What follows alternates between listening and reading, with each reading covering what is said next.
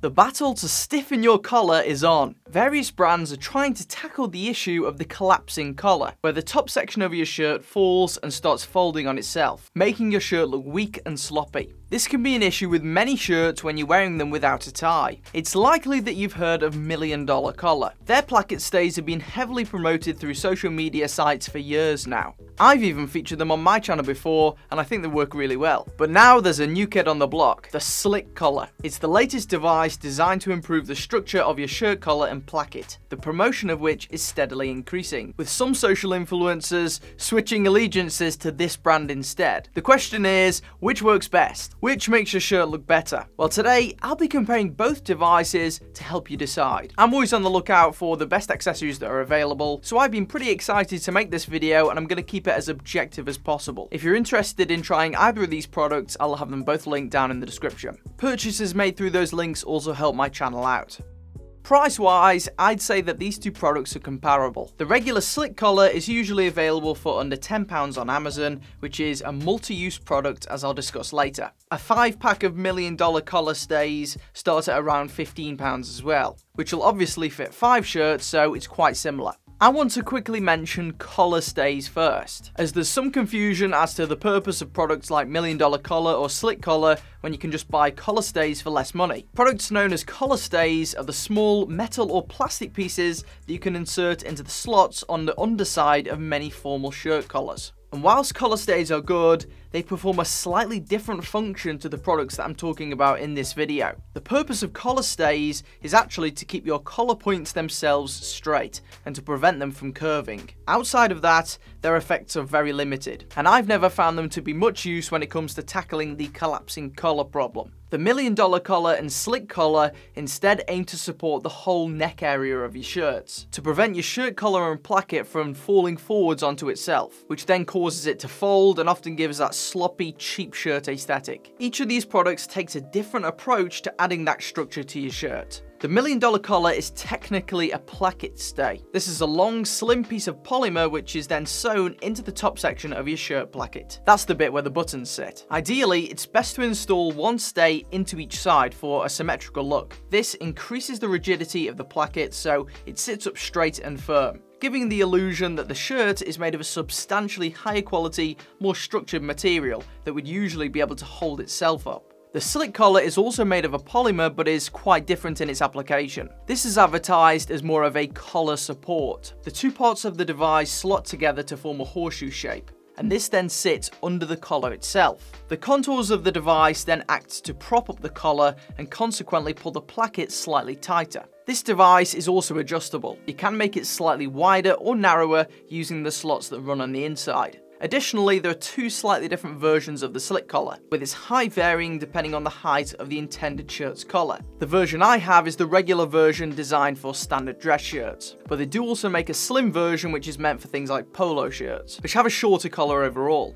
So that's the two products, how do they compare? Having tested both methods, I have to say they both work quite well, and certainly improve the structure and look of a default shirt. Here's a side by side of each shirt with and without each product installed and whilst both do work, there are clear pros and cons for each. In terms of installation, it depends where your preference lies. The slick collar is clearly easier to fit as no sewing is needed. You simply adjust to the appropriate shape and size and then pop it under your collar when required. This is one of its most heavily advertised selling points, and it's easy to see why. It's really easy to use. Furthermore, this means that you can move the product between multiple shirts. As a result, it's technically cheaper as you can use it on as many shirts as you want moving forward. The million dollar collar on the other hand does require a lengthier installation process. These do have to be sewn into the shirt, and whilst it's not a complicated process, those inexperienced with needlework may need the help of a tailor or seamstress, which could mean more expense. However, it does offer a more permanent solution, as it can be left in position indefinitely once installed. They can be washed, ironed, or pressed without getting damaged, so this makes them the real set and forget option out of the two. Also, there are now custom shirt companies such as Deo Veritas,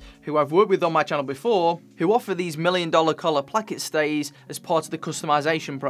You can get them pre-installed into your shirts, meaning that you don't have to try and fit them yourself. But obviously those services start at a higher price point. Also, as they are fitted into your shirts, the million dollar collar stays effectively store themselves. One of the small issues I found with the slick collar is that when not in use, you either have a block of plastic lying around your house somewhere, or it's hiding under one of your shirt collars, which isn't ideal. Hunting through your shirts to find your slick collar is probably something you'll experience at some point.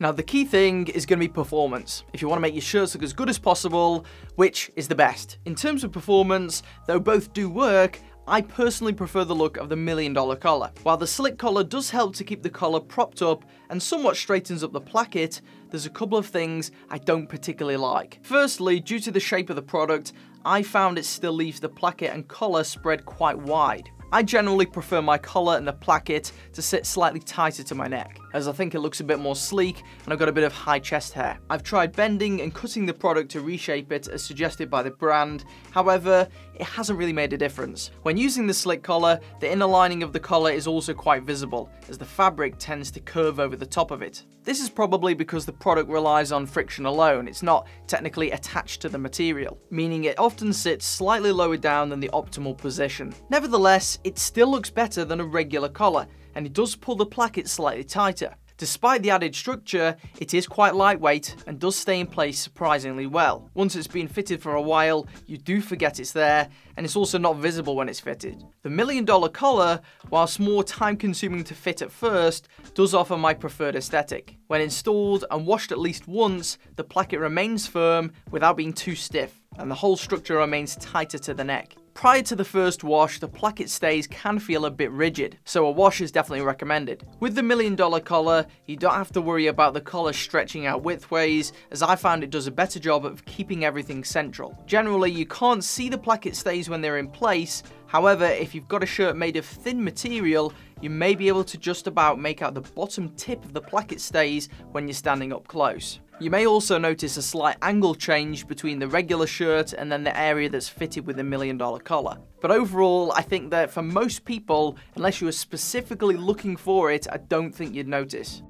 So that's the two methods. Which do you go for? Well, overall, I think it depends what you're looking for and what you want to achieve. If you're after the easiest and fastest method to improve your shirts, I think the slick collar could be your preferred choice. Though do keep in mind, you do have to manually switch the product between shirts if you're not prepared to purchase one for each shirt. Alternatively, if you're after the overall best aesthetics and a set and forget option, the million dollar collar placket stays are the ones to go for. This really does make a £30 shirt look more like a £100 shirt, but does require a setup procedure. Personally, I lean towards the latter as it suits my needs better, and I like the fact that I don't have to keep moving this piece of plastic between different shirts, albeit it could work out as more expensive. You'll find links to both of them in the video description so you can choose your preferred choice. Purchases made through those links also help me to make more videos so it's highly appreciated. When preparing this video, I did come across many other similar collar devices. I'd love to know if in the future you'd like to see a full roundup of all of them, to see if there's one outside of these two that's actually better